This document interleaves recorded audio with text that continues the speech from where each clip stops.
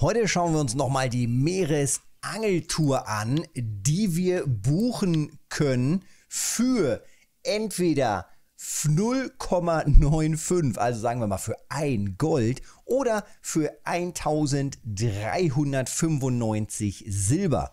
Fünf Stunden in-game, also fünf Tage in-game und dreimal können wir das Ganze machen. Jetzt erneut.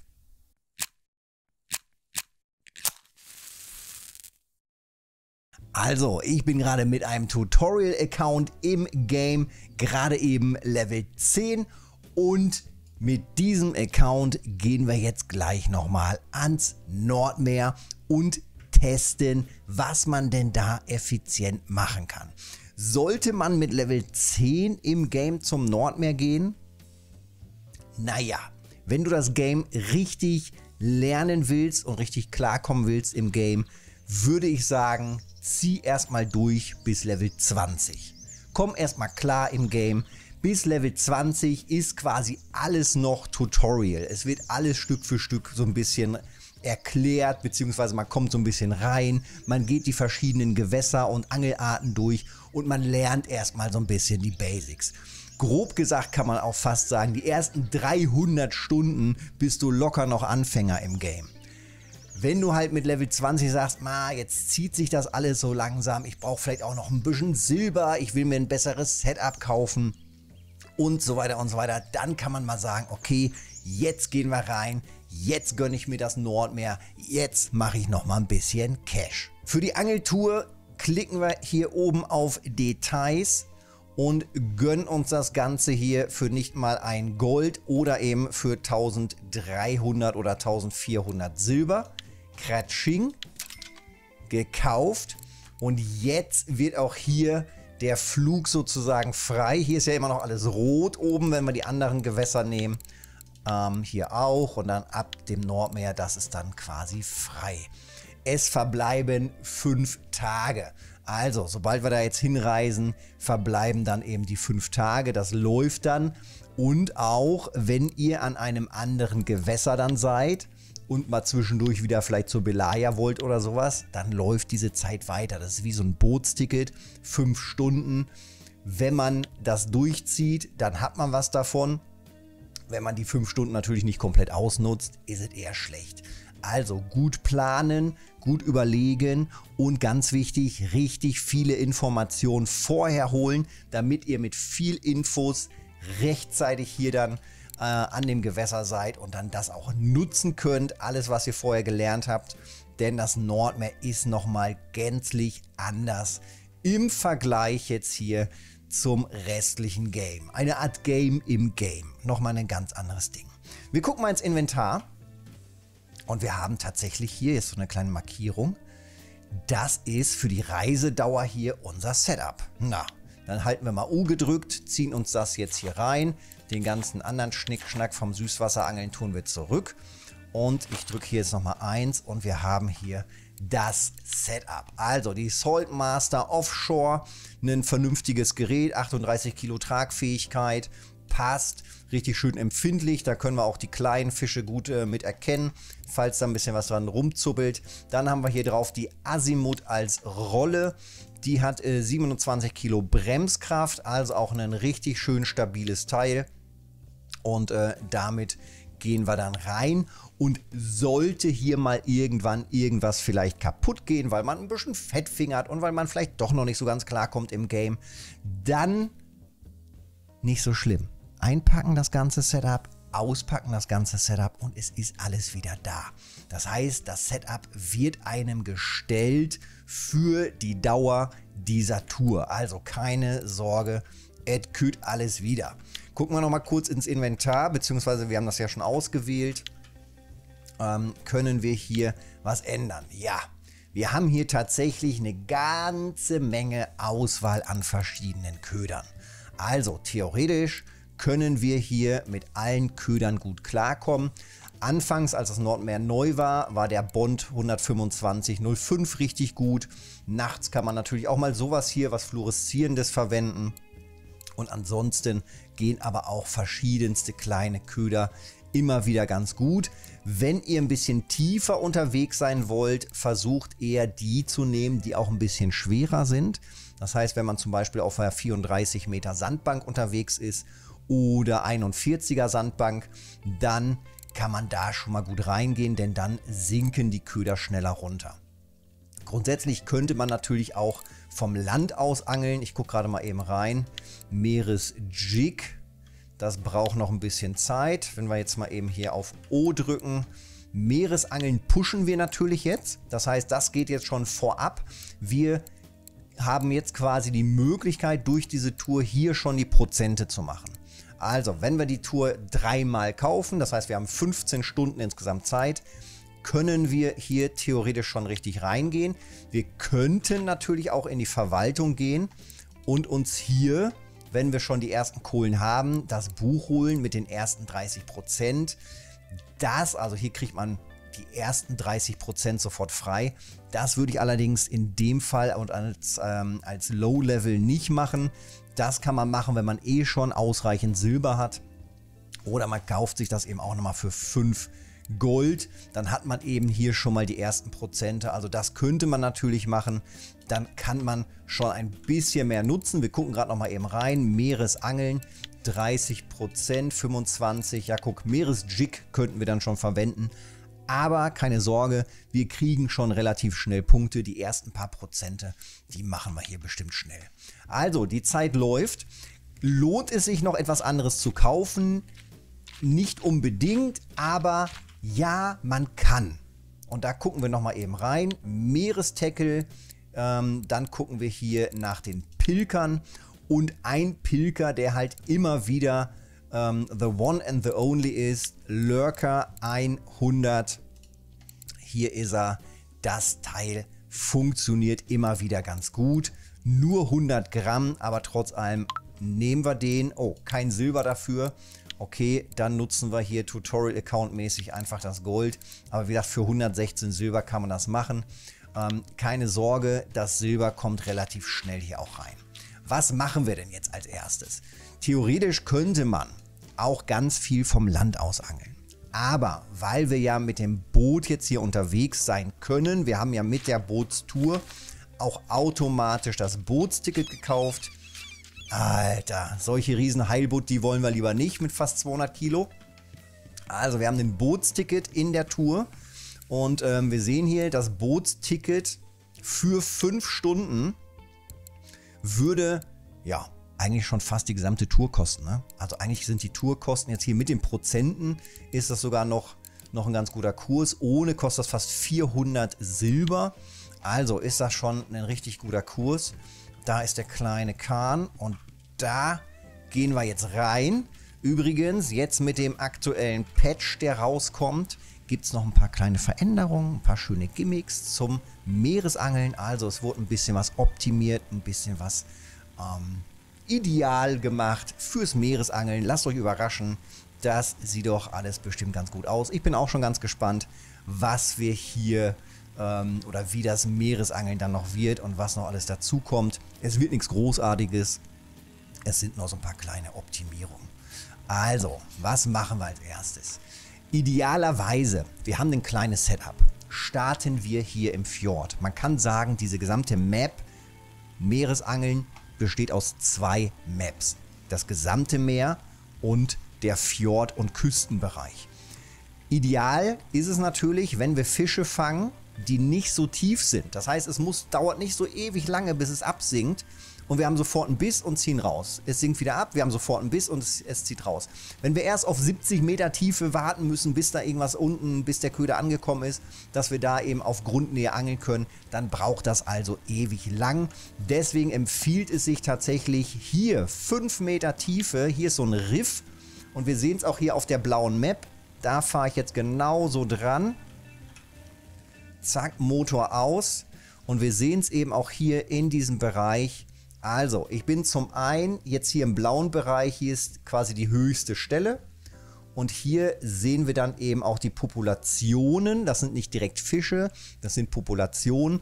Wenn du Fragen hast zu dem Ganzen, wie das alles funktioniert, es gibt jede Menge Videos auch natürlich auf dem Kanal. Es gibt auch ein Video zum Echolot. Was sieht man auf dem Echolot? Wie funktioniert das Echolot? Wo befindet sich das Echolot und so weiter. Also, das nutzt man auf jeden Fall, das Echolot. Und dann geht es auch schon los. Wir steigen aus. Idealerweise stellt man sich hier vorne so ein bisschen daneben, dass man auch weiß, wo man ist. Und dann nimmt man einfach hier, ich nehme jetzt einfach den Köder, der original dran ist. Einfach mal gucken und testen. Wir müssen ausprobieren. Wir müssen auch gar nicht weit auswerfen. Also einfach nur kurz anklicken. Hier geht es darum, dass der Köder einfach nur ins Wasser runterfällt. Wir angeln quasi immer nur senkrecht. Wir müssen nicht geradeaus rauswerfen. Das äh, Auswerfen kostet zusätzlich Verschleiß. Ist natürlich auf dem Setup, was wir haben, nicht wirklich relevant. So, nächster Schritt. Wir sehen, guck mal, die Schnur ist schon ganz locker. Wir sind jetzt hier auf 10 Meter. Wir haben 10 Meter Schnur, haben wir schon rausgelassen. Das können wir erkennen, weil wir diese Schnur verwenden. Jeder Farbabschnitt sind immer 5 Meter. Das heißt, solange man diese Schnur hat, hat man auch da unten in dem Bereich diese Anzeige jetzt gerade hier auf 10 Meter. Also, ausgeworfen. Wir haben Grundberührung offensichtlich. Das heißt, wir kurbeln jetzt noch einmal an. Und jetzt haben wir so ein bisschen Spannung. Siehst du das vorne an der, an der Spitze? Jetzt haben wir die Spannung. Und jetzt können wir mit der rechten Maustaste hier so ein bisschen auch ins Pilken gehen. Das heißt, einmal Einfach so ein bisschen drücken. Ich kann sogar noch mal ein bisschen mehr vielleicht ziehen. So, wir haben Bewegung in Grundnähe. Und wenn wir jetzt hier auch schön reinpilken, haben wir zusätzlich dann auch noch das Pilken. Also diese zwei Sachen. Alleine Bewegung in Grundnähe ist schon mal nicht schlecht. Das ist schon mal ganz gut. Und dann müssen wir eben gucken, dass das Pilken noch dazu kommt. Das heißt, vielleicht noch mal ein bisschen, noch mal ein bisschen Schnur einkurbeln. Ein, zwei Umdrehungen. Und da haben wir auch schon Biss. Na guck. Erster Biss. Geht auch schon rein und es ist gar nicht so tief. Zack. sofort Level abgemacht. sofort Level abgemacht und sofort die ersten 2% im Meeresangeln bekommen. 3000 XP insgesamt. Klar, jetzt gerade natürlich mit Happy Hour, aber auch normal jetzt hier eben 800 Points dafür. Das ist doch schon mal gut. Und und wir haben mit Level 11 jetzt auch noch ein Spinning-Setup gekriegt. Das zählt natürlich alles für Low-Level. Wenn du Fragen hast zum Leveln allgemein, wie kommt man da rein, was ist wichtig im Game, komplett die Tutorial-Serie 2023 durchbingen bis zum geht nicht mehr und dann nochmal von vorn. Tutorial-Serie 2023, ich habe die Tage auch nochmal reingeguckt. Es ist alles drin, was man wissen muss. Wenn man das durch hat, dann hat man zumindest 5000 Fragen beantwortet. Und dann klappt das auch. Dann läuft das auch rund hier mit diesem wirklich schwierigen Game. Äh, und jetzt beim Meeresangeln ist das natürlich wirklich nochmal ein schöner Push. Zum einen XP-mäßig, zum anderen silbermäßig. Guck mal hier, sofort 5 Meter Grundberührung. Wir gehen sofort wieder in die Spannung und können sofort wieder Gas geben. Das ist dieser riesen Vorteil hier im Fjord und ähm, eben auch hier an diesem Riff. Was jetzt natürlich dann die Frage ist, welcher Köder ist am interessantesten. Und wir gucken natürlich auch immer mal wieder hier aufs Echolot. Das machen wir jetzt gleich nochmal. Wir können auch hier so ein bisschen rumlaufen natürlich. Und dann gucken wir gleich auch nochmal so richtig schön rein ins Pilken. Wir testen gleich nochmal hier diesen Bond und den Köder, den ich gerade gekauft habe, den Lurker. Das sind halt so Klassiker, die halt immer wieder ganz gut funktionieren. So, richtig schön rein, absinken, ab nach oben, absinken lassen. Wir können hier die ganze Zeit nur mit einer Route hantieren. Man kann hier nichts abstellen. Wir können keine ähm, zweite Route auf Grund auslegen oder, oder, oder. Also das macht alles hier keinen Sinn. Wir müssen jetzt zusehen, dass wir mit diesem Setup hier einfach nur klarkommen und das bestmögliche Ergebnis haben. Übrigens hier starkes Pilken steht jetzt hier gerade. Das wollen wir am besten nicht. Diese starke Pilken, das äh, ist dann vielleicht für später interessant. Wir versuchen hier mal nicht ganz so hoch zu ziehen. So, mal gucken, geht es mal langsam weg. Und ich gehe auch nochmal, mache den Bügel nochmal auf mit Enter. Nochmal ein bisschen absinken lassen. Guck mal, wir treiben hier gerade weg, ne?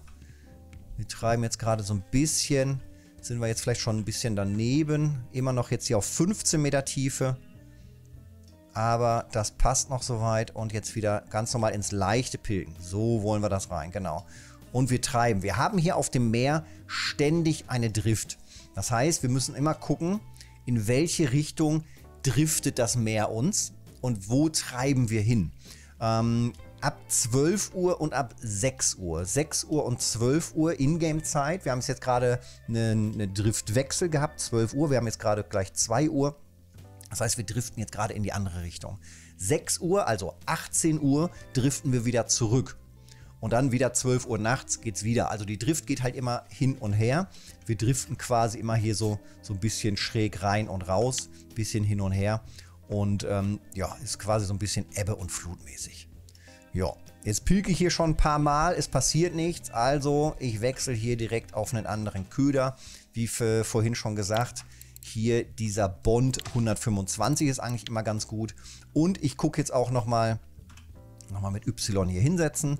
Übrigens äh, die ganzen Anzeigen, ihr seht das oben rechts in der Ecke, ähm, ne? U-Boot rufen, das ist jetzt nur für Premium, aber das Echolot kann man ein bisschen einstellen, den Trollinggang anmachen, muss eigentlich nicht sein, würde ich anfangs einfach lassen. Motor starten, aufstehen und so weiter, das ist ja da alles erklärt. Wir starten jetzt mal den Motor, fahren einfach ein bisschen vorwärts, auch nicht ganz so schnell, denn wir wollen jetzt mal gucken, was denn, guck mal, hier geht es jetzt gerade den Berg wieder hoch. Hier sieht man es auf dem Echolot.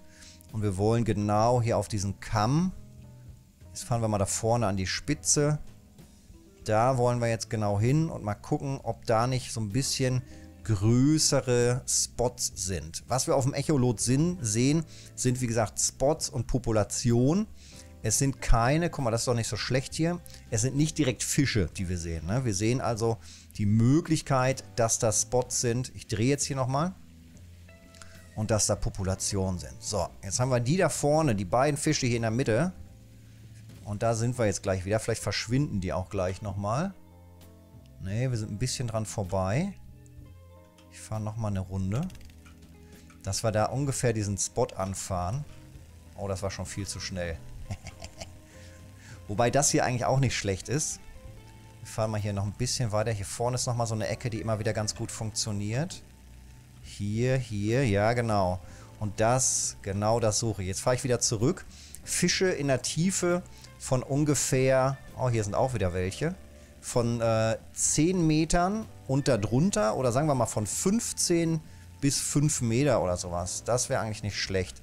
Mach mal hier aus. So, und dann werfen wir mal hier runter den roten Bond. Wir treiben natürlich jetzt immer noch ein bisschen, ne? Also, von der, von der Position hier, so in dieser Area jetzt hier, ne? Das schwankt hier natürlich, aber so grob in dieser Area, das wäre nicht so schlecht. Genauso hier mal testen und dann hier, das hatten wir ja gerade schon gesehen. So, runterlassen. Hier sind wir schon auf 45 Meter.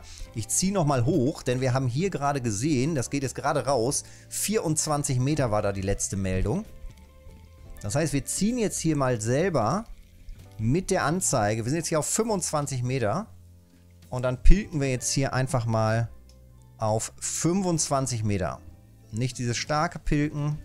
So, normales Pilken. Da reicht sogar ein ganz kleiner Zuppler hier mit der rechten Maustaste. Und dann kommen wir rein hier ins normale Pilken. So, und weil wir ja gerade gesehen haben, vielleicht sind wir schon ein bisschen wieder zu weit abgetrieben. Das ist halt so ein bisschen das, das, ähm, das Anspruchsvolle, sagen wir mal. Wenn man eben auf diese kleinen Spots hier angeln will, dann eben gucken, dass man ziemlich genau in der Nähe ist, gut dahin treibt sozusagen. Und dann kann man da eben auch auf diesen Höhen ganz gut langziehen. 25 Meter, ziehen wir noch mal ein bisschen mehr. Dass wir so grob in dieser Area und in der Tiefe hier pilgen können. Na, ich glaube, ich fahre gleich noch mal ein bisschen näher dran. Was ich gerade suche, sind sowas wie Sardinen und Co. Wir haben hier wieder eine Meldung hier vorne. Da ist gerade das Echolot. Vielleicht ist aber auch dieser Köder gerade nicht interessant von der, mit der roten Färbung. Das kann natürlich sein.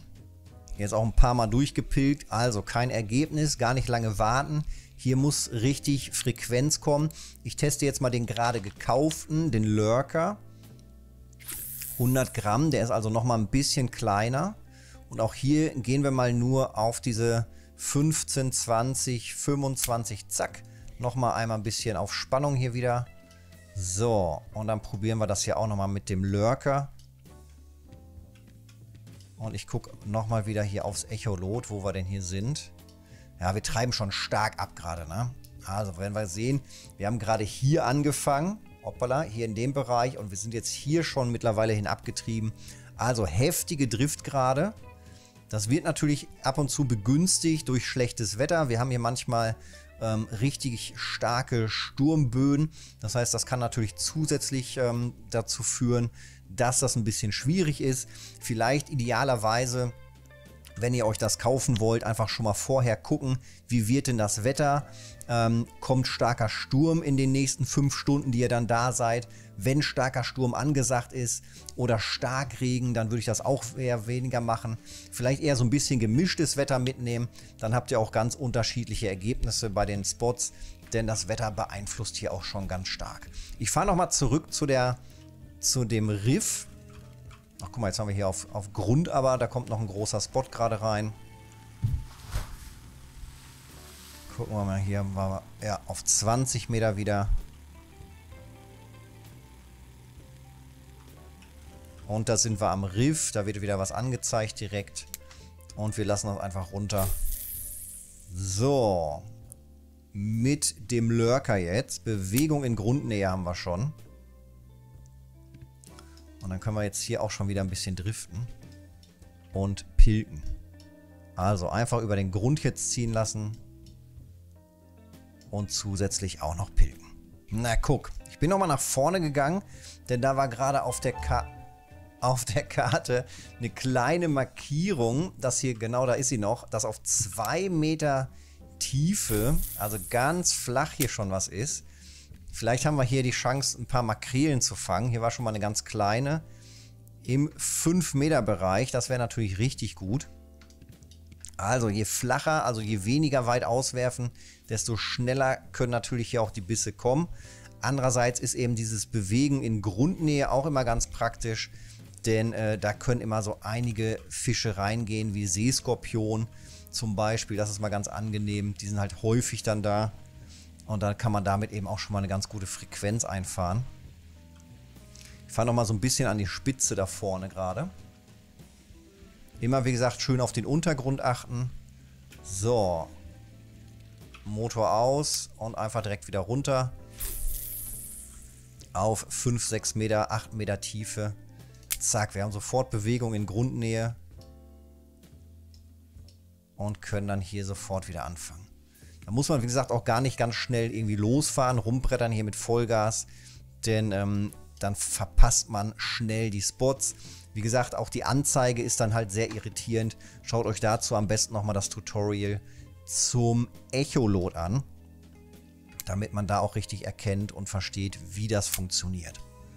Ja, andere Möglichkeit natürlich, wenn man dann so ein bisschen freier rumfährt. Also letzten Endes egal wo ihr hier seid, der gesamte Fjord immer wieder lohnenswert. Aufs Echolot gucken, diese kleinen Markierungen, diese Umrandungen, diese Spots, diese Tiefen, Untiefen, immer wieder gucken, wo viel Population ist, kurz anhalten. Hier oben ist auch nochmal eine Area, die immer wieder ganz gut funktioniert. Hier in diesem Zwischenbereich kurz anhalten und dann testen. Wenn ihr natürlich gar keinen Bock drauf habt, hier mit dem Boot rumzufahren, weil euch das vielleicht einfach ein bisschen zu weird ist oder ihr habt einfach mit dem Bootfahren nicht so Lust, man kann auch hervorragend vom Land aus einfach hier das Meeresangeln machen. Dazu am besten nochmal die, ähm, ja, die von Land Videos angucken auf dem Kanal. Da gibt es schon einige zu. Einmal hier aus der Area, hier aus dem Bereich, hier drüben. Da ist der Affenfelsen zum Beispiel. Dann gibt es hier in dem Bereich ähm, die Möglichkeit zu angeln. Also es gibt mehrere Stellen, wo man eben auch richtig gut vom Land aus angeln kann. Und das auch eben mit ganz simpler Montage. Na guck, den nehmen wir doch gerne mit einen Steinköhler, sofort mit dem nächsten Fisch, zack, Level up gehabt. Ähm, plus 0,2 wieder. Das ist richtig gut. Also jeder kleine Fisch bringt hier natürlich einen richtig schönen Boost, auch geldmäßig, silbermäßig ist das ein richtig guter Fisch. Wir sind hier jetzt ähm, auf 20, 15 Meter ungefähr, 20 Meter schon in Grundnähe. Das heißt, hier jetzt einfach weiter probieren, wenn da so ein Fisch ist, testen, weiter testen an der Stelle. Aber bedenken, wir treiben weiter. Der Spot ist gleich wieder weg sozusagen. Ne? Also das ist eben der Punkt. Wenn man, wie gesagt, das nicht, nicht so will, dass das, also dass man nicht so ganz wegtreibt immer. Oh, da ist aber schon der nächste. Und wieder abgehauen. Also direkt wieder Bügel auf und runterlassen. Und wieder weitermachen. Ähm, dann einfach hier auch auf die Sandbänke fahren. Und da fahren wir jetzt gleich auch nochmal hin. So, wir fahren jetzt mal eben hier zur 34 Meter tiefen Sandbank und werden uns einfach hier so um die 34 einfach schön mittig hin platzieren, weil wir dann eben mit der Drift, egal in, in welche Richtung wir dann driften, immer schön auf der Sandbank bleiben und wir driften dann sozusagen hier eine Area einfach ab und bleiben immer ungefähr auf der Nähe.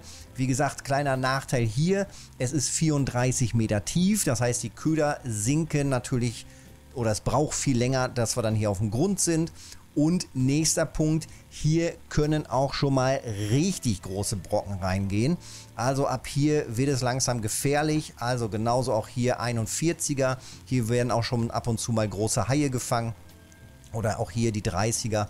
Also diese drei Bänke, die kann man durchaus natürlich nochmal beangeln wenn man auch ein bisschen Action haben will. Wie gesagt, zu empfehlen anfangs ganz viel im Fjord angeln, einfach auch für Frequenz. Die meisten XP, die meisten Skillpunkte bekommt man am Nordmeer mit den Kleinfischen. Auf einer hohen Frequenz, auf viele kleine Fische gehen. Ja, und solche Spots hier, solche Populationen, und zwar meinen wir jetzt, meine ich jetzt hier diese oberen, ne? Also hier 15 Meter, sowas hier, das ist halt gut. Wenn man nach sowas Ausschau hält, das ist immer wieder interessant. Der Bereich hier 30, 40 Meter ist weniger interessant, kann man auch machen, aber das sind häufig so Köhler und sowas, die in der Höhe unterwegs sind. Und im Grundbereich können dann auch schon mal richtig große Brocken unterwegs sein. Aber was für uns am interessantesten ist, fürs, guck mal hier, super dichte Population. Zack, zack, zack, zack, zack, einer nach dem anderen. Das hier, das sind solche interessanten Spots. Da durchaus einfach mal anhalten und dann flach auswerfen. Guck mal hier, ich mache mal sofort Stopp. Sind wir schon an der Stelle? Wir sind, wir sind schon dran vorbei wieder. Aber hier fahren wir jetzt gleich nochmal zurück. Das gucken wir uns auch nochmal eben an. Beziehungsweise ich fahre einfach mal weiter zum, äh, zur Mitte. Also nochmal eben korrigieren. Die Richtung einschlagen. Wir werden sowas auch hier irgendwann in der Mitte finden. So. Genau, einfach nochmal mittig reinfahren. Und jetzt sehen wir schon, hier kommt jetzt die Sandbank auf dem Echolot. Das wird alles jetzt hier angezeigt. Schön dicht an dicht. Also hier ist richtig was los auf der Sandbank. Und jetzt machen wir hier einfach mal den Motor aus. Nehmen unser Setup wieder raus. Jetzt treiben wir noch ein bisschen. Und direkt vor unserer Nase vorne, da kommt gerade was auf 30 Meter Tiefe. Da sehen wir gerade eine große Population. 30 Meter, 32 Meter. Ja. Also, gucken wir, wir lassen mal absinken. Wir sind jetzt schon bei 30 Meter. Zack. Einmal wieder Schluss, einmal den Bügel wieder zu. Kurze Spannung wieder aufbauen. Jetzt haben wir hier schon die ganze Zeit Stehenbewegung in Grundnähe. Und dann leicht reingehen hier ins Pilken. Ich habe das auch äh, auf, die, auf die Tastatur gelegt, auf den Nummernblock hier auf die Komma ähm, da habe ich immer die rechte Maustaste und linke habe ich auf der 0. Das heißt, man kann dann hier immer noch schön das entspannt auch mit der Tastatur machen. Finde ich immer ganz angenehm. Dann kann man nämlich das einfach so lassen. Und das ist immer ein ganz wichtiges Ding hier auch. Wir pilken so ein bisschen hoch, sind vom Grund weg, pilken runter und sind wieder auf dem Grund. Das heißt, wir haben quasi so zwei Trigger. Immer wieder dieses Grundnähe und immer wieder das Pilken. Das ist genau so ausjustiert jetzt von der Höhe. Da muss man halt manchmal eine halbe Drehung mehr machen, so leicht einkurbeln wieder. Oder doch wieder den Bügel kurz aufmachen. Und dann eben gucken, dass man immer so schön beides hinkriegt. Pilken in Grundnähe, zack, da mal Biss. Oder Pilken eben, ähm, ja, ohne Grundnähe. Aber diese Bewegung in Grundnähe dabei zu haben, ist immer ganz praktisch. Ja, und dann geht das schon los hier. Also, gerade hier auf den Sandbänken immer mal wieder gerne irgendwelche Plattfische auch dabei. Das ist natürlich auch nicht verkehrt, wobei die dann auch schon mal ein bisschen schwierig werden können. Übrigens hier auch Kescher nicht vergessen. Der erste kleine Kabeljau. Meinen größten Kabeljau hatte ich hier auch gefangen als Trophy. Also hier gehen auch die ganz großen Brocken rein. Wenn euch sowas passiert, naja, dann erstmal viel Spaß natürlich gewünscht, weil das kann richtig, richtig, richtig Action geben und äh, hart in den Drill reingehen. Vielleicht schafft ihr das mit dem Setup, einen großen Kabeljau zu drillen. 600 mm, Meter Schnur hat man drauf, 36 Kilo ist das Setup ausgelegt. Es könnte schwierig werden oder es wird schwierig, ganz sicher sogar, aber machbar ist es. Also mit viel Glück kriegt man vielleicht so einen Brocken rausgezogen. Wenn ihr euch allerdings denkt, ja verdammt aller, der versaut mir jetzt hier meinen Stundenschnitt in Silber und allem. Ich habe ja nur fünf Stunden Zeit und wenn ich jetzt hier eine Stunde lang so einen Fisch drill, der eigentlich viel zu groß ist für mein Setup, dann macht einfach den Bügel dicht. Also Bügel zu, abreißen lassen, das gesamte Setup einpacken, alles wieder auspacken und weitermachen. Seehase, sehr schön weitermachen mit dem kleinen ähm, Setup hier oder mit den kleinen Ködern und auf kleine Fische. Denn das Wichtigste ist jetzt hier bei der Meerestour hohe Frequenz, viele Fische, einen nach dem anderen rausziehen. Das ist das A und O. Also so macht man dann eben auch Prozente. Viele Fische, wie gesagt, fangen in einer guten Frequenz und äh, im Idealfall, wie gesagt, wenn ihr was findet, was noch flacher ist eben als hier diese 35 Meter, da auch immer mal wieder gucken, ob da was ist, dann da angeln. Aber es scheint ja hier auch ganz gut zu gehen. Einfach hier gerade nur, ich zeige gleich nochmal den Pilker, einfach nur hier auf dem kleinen Setup. So.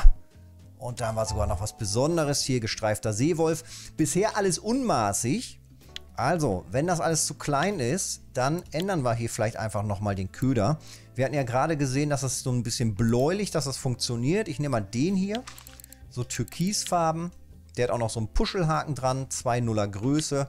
So, dann werfen wir den einfach mal aus. Vielleicht funktioniert der ja auch ganz gut hier an der Stelle und liefert dann noch die etwas größeren Fische. Absinkgeschwindigkeit ist soweit noch ganz gut. Je mehr wir dann später hier an, ähm, an Tralafitti, nennen wir es mal, an Zusatzhaken, Lockmittel, Trailer, Filets, Kunstköder und so weiter, Leuchtperlen. Je mehr man hier dran hat irgendwann, umso langsamer sinkt das Ganze runter. Das hat ja alles ein bisschen Auftrieb. Umso länger braucht es, bis es unten dann ankommt. Aber jetzt, wenn man nur damit unterwegs ist, geht das schon mal ganz gut. So, also wieder auf Spannung.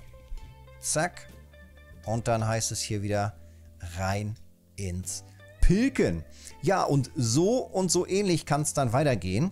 Und dann macht man schon seine paar tausend Silber und wahnsinnig gut XP und Level hier am Nordmeer. Das heißt also, wenn ihr Bock habt darauf, einfach mal reingehen. Hier habt ihr jetzt die Anzeige, genau, es verbleiben vier Tage, zehn Stunden. Also das ist doch auch richtig gut. Und diese Nordmeer-Tour, wie gesagt, ab jetzt mit dem letzten Patch nochmal machbar, dass man das Ding dreimal bucht. Das wurde also nochmal zurückgesetzt und ähm, ja, dann kann man hier eben diese Tour nutzen, ohne dass man sich irgendetwas kauft, außer eben hier einmal vielleicht die äh, 95 Gold, also 0,95 Gold, ein Gold quasi und dann kann man schon auf die Nordtour gehen oder man holt sich einmal drei Gold und ab geht es. Und dann macht man schon einen ordentlichen Boost. Nichtsdestotrotz, ich sehe das Ganze immer noch ein bisschen kritisch. Immer bedenken, wenn ihr das macht, boostet ihr euren Account super schnell nach oben.